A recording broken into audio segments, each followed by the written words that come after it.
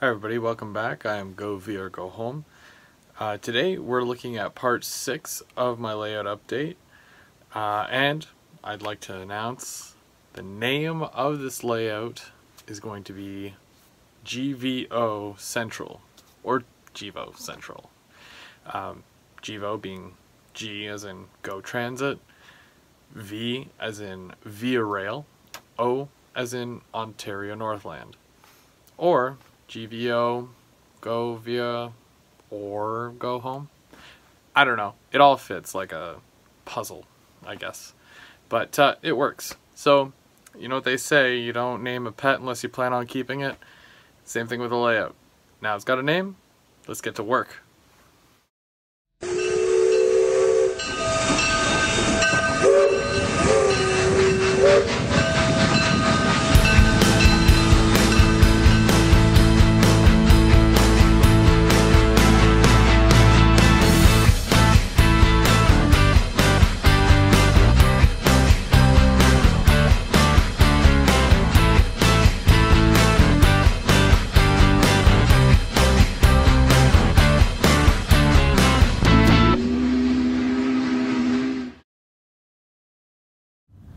So I made a few changes since uh, my last video update.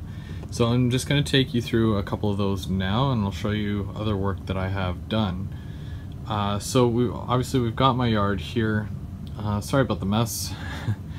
but uh, basically, so looking at, basically this is my, uh, it's my doorway here. Uh, it's a swing gate.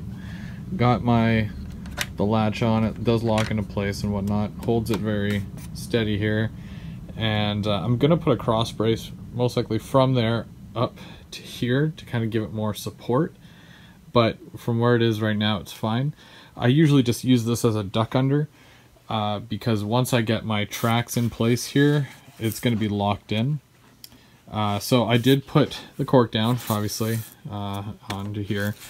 I just used a giant cork sheet because don't really know how I'm going to be having this section compared to up here, but also when we look at how it's coming in, this is obviously main line, so I've got a little bit of a, a curve to it there. So I'm just going to show you this, sorry. And then it comes out onto here from there. And it looks really cool when the train runs through it, it you know, goes on there and then, yeah. Then uh, this is a, a side entry to the yard. And I'm not 100% on this yet because I think I want to put like a, a, diamond crossing here, like in this section, or even just a another switch so that I can go up into here as well. But again, nothing's in stone with this, so it's not one of my focus right now. It's more or less just my main. Uh, the main's the focus, so I can get trains running around it. Uh, now, one of the changes that I made, uh, you're going to see here, I had a 3 by 3 table right here. But I took it out and I pushed it down here to where the other bridge is. And then I took my 2 by 4 and made it uh, a 3 by 4 So it's a lot bigger all the way down. And you'll see instead of it going straight and then in and then down, uh, it just goes right across, right to the, uh, the couch there and uh, I feel it looks better this way and this gives me some more real estate there to uh, you know work on the industry and maybe have a couple more tracks and whatnot. So that means I had to get rid of uh, this section here that raised up because I'm gonna do this a little bit differently. So what I'm gonna have here is uh, this section when it comes off off the uh, the lift out here, or not lift out, but the swing gate. It's going to go into the, the wide curve and it's going to go right to the back. And it's going to continue on. But yeah, I gotta still cut the wood for this and the risers, but it's basically, it's going to go up there. Then uh, I'm going to have another section because I have to have it come up, kind of like how it was before, but instead of it being higher in the front, it's going to be higher in the middle. So going in between these two tracks here. And then it's going to just cross this one track, because you see how it goes out this way. It's just going to go across it and then it's going to stay up above all of this here. And I guess I can kind of do it like this just to kind of show a representation. Although where I'm putting the cans is basically where track is going. Down below. But yeah, it's going to go like this over top. And it's going to come from there into here over this and then out here. And then it's going to go downgrade while this is going upgrade. Because we still have to get to the bridge. That's going to be right there. Bridge to bridge. And then this line here will in turn go in as well and the three tracks will meet up now the thing is with this one of the things I was thinking about and I'll, I'll get to it after that was originally supposed to be one track bridge right there. So uh, one one bridge. I'm making it a double instead. Uh, oh, again, I'll get more into that when I get in there, but I just wanted to show you this part for now. Uh, let me know what you think. Uh, we've got the single main here, and then the second line goes up and over, which goes across, and it's going to come across here. And it does come out this way. Yeah, I guess this is a little bit easier to see it like this. Uh, which will, it will be coming out this way. So basically it basically just goes over all the tracks. And I do believe that I'm going to make this a double as well. So at some point here it's going to have a switch and it goes into a double. And then we have the double main come down. So that's that's basically that part. Sorry, I put the cat to sleep. Oh well. She's not into trains, I guess.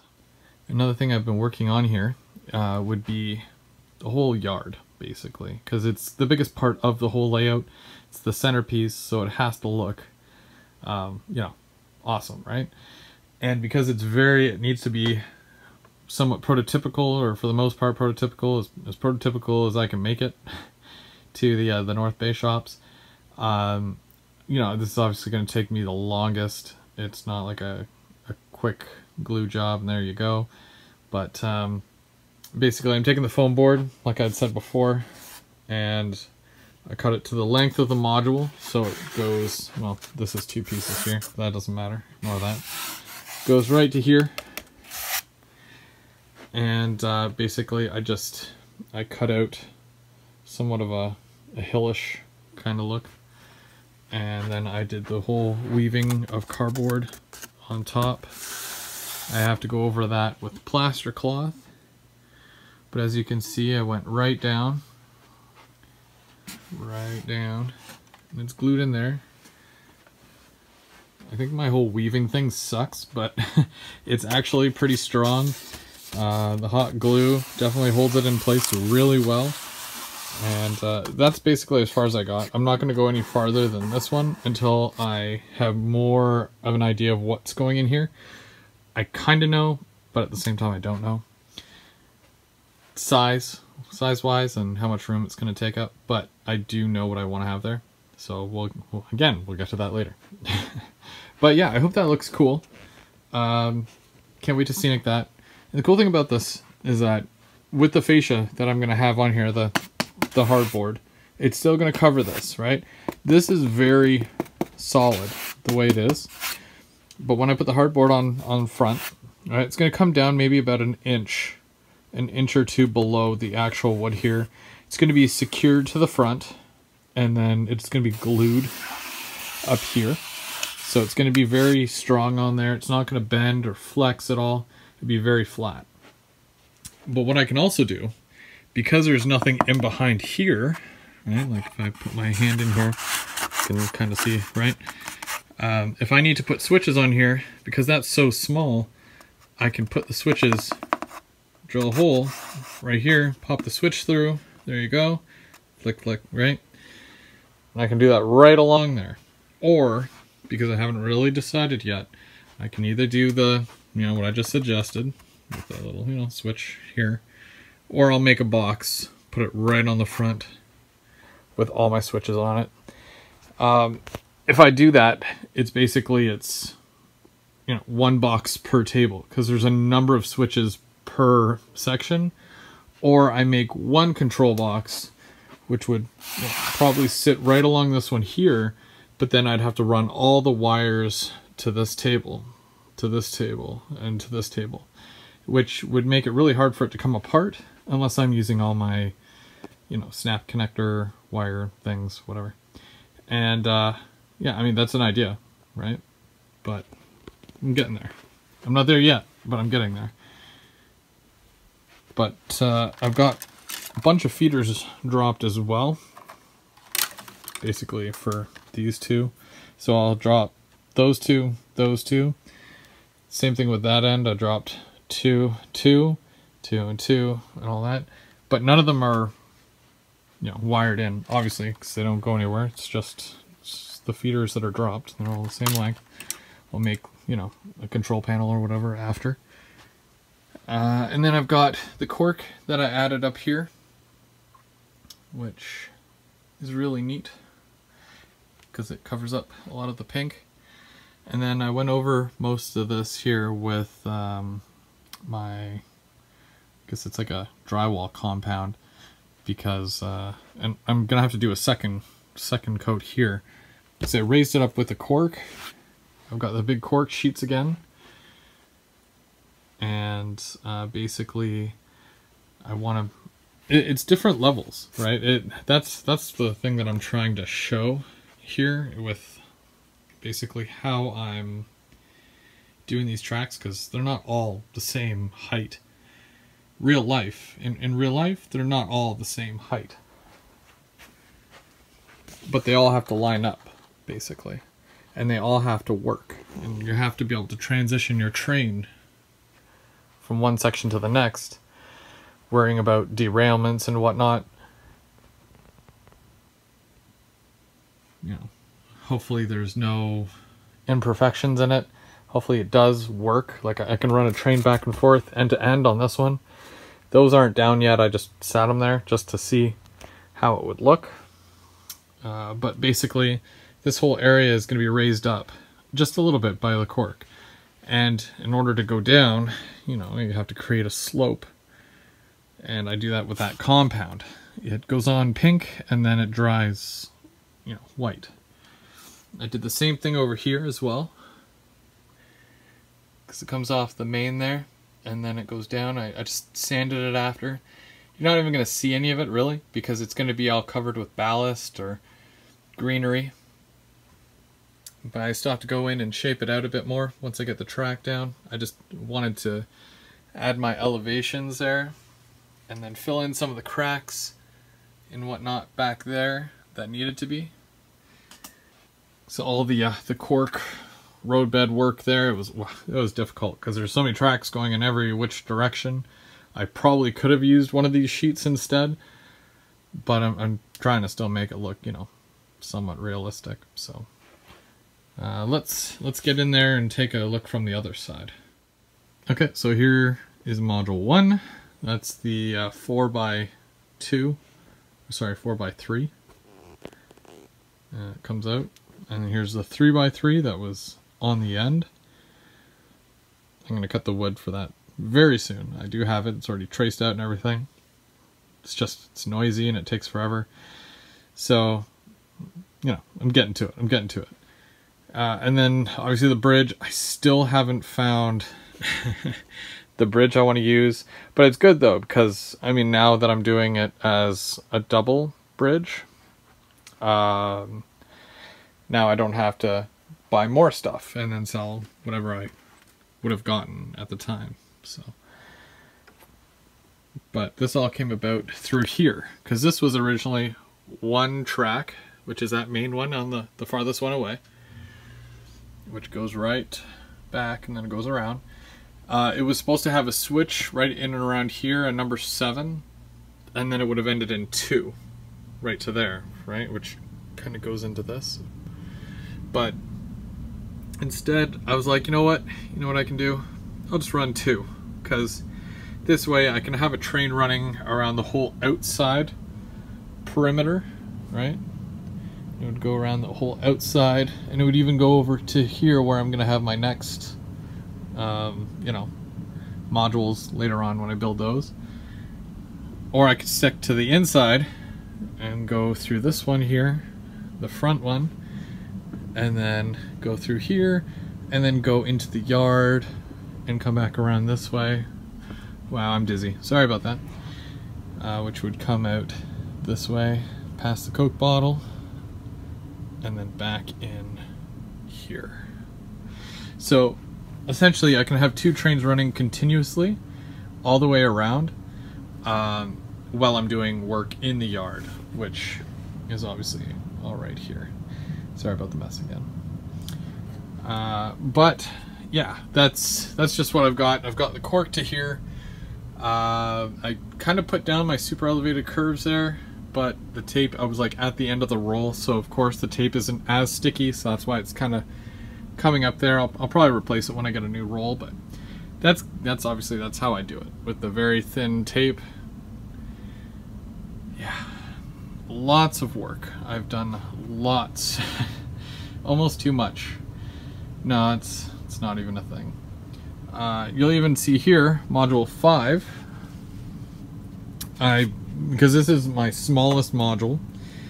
Uh, if you're following on Instagram, or or even on my Facebook page, you'll see you know that I did a couple of I posted a couple of pictures where I was showing my the steps of how I got even this far, which I'll continue doing obviously. So uh, go take a look at the Instagram if you want to see you know my step by step with this. But it was basically cutting a front wall, cutting two side walls. Um, having a, a portion on the inside here where I cut out water and I dropped it lower than the outside part and I used a bunch of supports underneath and now I'm just filling in with foam all the way around and then I was carving it with a knife and with this tool here which basically it's like a file creates a mess as you can see and I'm just kind of you know working it down a bit all the way around so it's more gradual uh, so there's going to be a, you know, it's a, obviously it's a pond, right? Um, or a small, small lake. Uh, but it's, it's basically just on this module here. And I'm going to make it so that it kind of continues on to the next module and so on that way. And then I have an industry in here which comes off of this track. So track goes out here, down the grade, and then it comes into here. So that's that's kind of my idea for this section here. Uh, but yeah, that's that's what I've been working on really. It's gonna take a long time to do that, but do that with every single module because I mean, there's a lot to do. I'm just hoping to get my track in, but in between doing things like waiting for glue to dry, waiting for plaster to dry, you know, uh, waiting to get more materials if I run out of materials. There's always something to do, and that was my answer to that yesterday, where I was just like, you know what, I'm gonna go create a box and then fill in that box. It's not totally done yet, obviously, but for the most part, that's kind of how it's gonna look, and then I have to go in and put plaster on it and shape it out way more, and then I'll be able to add water. Yay, because I've always wanted to do that. You'll even notice with the uh, the backdrop section here, I also kind of did a bit of work with that as opposed to, you know, where that's all blocked off and even that's blocked off there so it only goes you know, so high with that. Um, really hoping to, you know, make this look like a full section. Uh, you know, trying my best to uh, you know, fill it out as much as I can and make it look like a real scene. Takes a lot of work though. Takes a lot of work.